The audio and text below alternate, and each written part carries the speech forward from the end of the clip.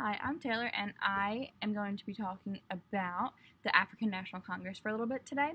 Where did they originate? The African National Congress originated as a result of the Second Boer War. I'm not really sure if that's how you pronounce that. But this war was between the British Empire and states in South Africa during this time. In 1912, a group of leaders and communities, along with organizations, during this time met to form the South African National Congress. And purpose of this Congress was to bring everyone together as one people and to defend their rights and freedoms under the colonial government rule. So, on January 8, 1912, that's exactly what they did. They formed the Na- African National Congress. It was originally named the South African Native National Congress and was later changed to the African National Congress, or ANC for short. These three people had a very important role in the foundation of the Congress. Um, John Dube was a really major part of the, why the Congress came to be what it was. It was formed during this time when the country was experiencing many changes at a very high rate.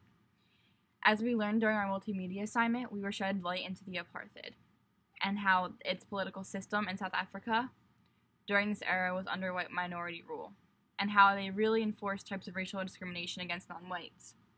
The word apartheid directly translates to apartness in Afrikaans, which is the language of the native people.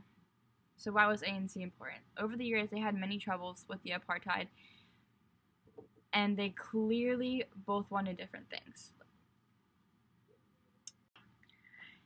The ANC was more concerned about the people of the states, while the apartheid was really concerned about more of the, of the government and the higher class individuals of the states in South Africa. The ANC struggle with the apartheid is still continuing today. Currently in South Africa, the ANC is ruling, and that was due to Mandela being elected as president. Which whoever is speaking about that, I'm sure will enlighten you on him and his role in the, in the ANC and the apartheid.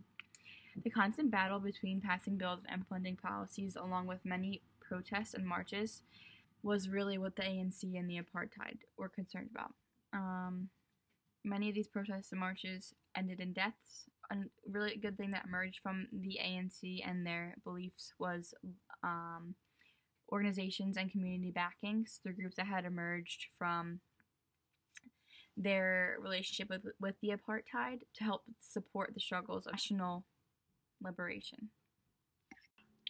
About this topic that surprised me the most was probably um, the constant struggle between these two groups because the ANC was so um, popular and that it took them a really long time to basically overthrow the apartheid. Prior to this assignment, I really did not know much about the uh, government in South Africa, but this really shed a light onto the way that I perceive their country and the way that um, their people had such issues in trying to liberate themselves. Um, if I were to share anything about this topic with our people, I would probably tell them that the government isn't what always it's cracked up to be. Um, and the apartheid rule was nothing but a nuisance to the people of South Africa.